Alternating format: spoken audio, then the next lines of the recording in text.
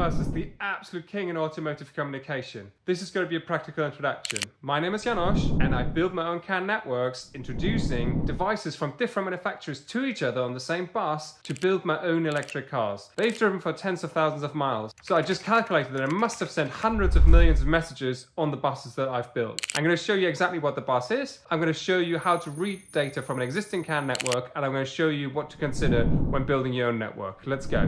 What is the CAN bus? It's two wires, CAN high and CAN low. On the one side, you're going to have a 120 ohm resistor, and on the other side, you're going to have another 120 ohm resistor. In the middle, you're going to have loads and loads of devices talking to each other. The CAN high and the CAN low sit about two volts apart, and um, there's a differential signal, so if you send one, um, one goes up and the other one goes down at the same time, which makes it very resilient against uh, noise from other electric devices. Uh, this is why the CAN bus is very popular. The devices on your CAN bus need to agree how fast they want to speak to each other. Uh, that's called the baud rate. Uh, typically in automotive, you're going to find uh, a 500k, 500 kilobit uh, baud a second. Additionally, the CAN messages are split into the so-called CAN ID and the payload. The payload is about 8 byte per message, and the CAN ID also baked in has the prioritization. So a message with CAN ID 1 has got the highest priority on the entire bus, and a message with, you know, 500 or something is going to have a lower priority than that. All right, that's it. That's all the CAN bus is. So how do you get any data out of this? You want to get to a stage where you've got a log file with CAN IDs, payload, and maybe some timestamps all in one file. Additionally, what you should know about is something called a DBC file. A DBC file is a set of rules describing how the payload is turned into meaningful parameters that a human can understand. Now, to actually get data out of the CAN bus, I just connected a Raspberry Pi and I wrote my own code. Other people use something called SavvyCAN. You have to find a solution for yourself.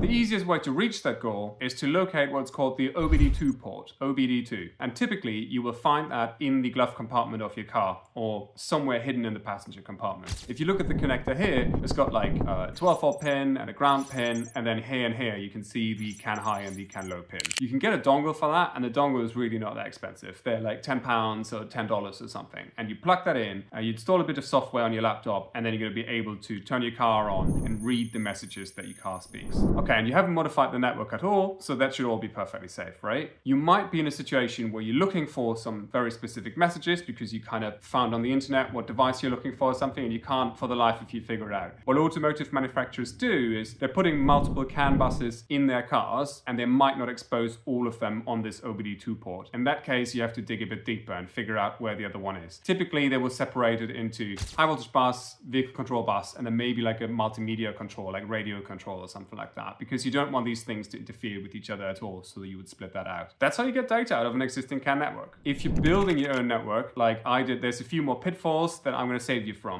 Most common one is you swap the wires. So make sure you really have CAN high and CAN high connected and you don't accidentally swap them around at one of your ends because then you're just going to get a bunch of garbage. The second most common problem is you add too many resistors or not enough resistors. So make sure you have got exactly two resistors, 120 ohms either side, um, both of them connect at the same time. If everything is switched off and you measure the resistance in the bus, you should measure 60 ohm. If you measure anything else, you've done something wrong and you're likely going to get in trouble. The third one is you want to make sure all your devices are speaking at the same speed. You want to set them all to the same baud rate. If you haven't done that, it's not going to work. If you want to build your CAN bus up from the bottom up, you need at least two devices. This is a mistake that I've made. I had one device and then a secret listener, and the secret listener wouldn't answer. Um, you need at least two because uh, one device needs to send and the other one needs to acknowledge that it's sent for the next message to be sent. Otherwise, the same message is going to be retransmitted, retransmitted, retransmitted, retransmitted forever, and you're not going to get um, the data out that you really wanted. So add at least two devices when you're building your network up from the ground up. Additionally, make sure you think about bus congestion. You want to calculate roughly how many messages you can send a second and how many you're actually sending, and you will leave plenty of room there for retransmissions. You don't want to over congest your network, otherwise everything is going to break down. Um, it's going to break down in a way that messages with high IDs are not going to come through anymore. Messages with low IDs are still going to come through. While speaking about IDs, if you're mixing and matching components from different manufacturers, you need to make sure that you really, really know what CAN IDs they're expecting to send and what CAN IDs they're expecting to receive. You don't want any conflict there. Otherwise, you end up in a situation where, you know, your heater turns on your throttle commands for your car. Not a good place to be. You want to make sure you really understand uh, what devices on your network are sending which messages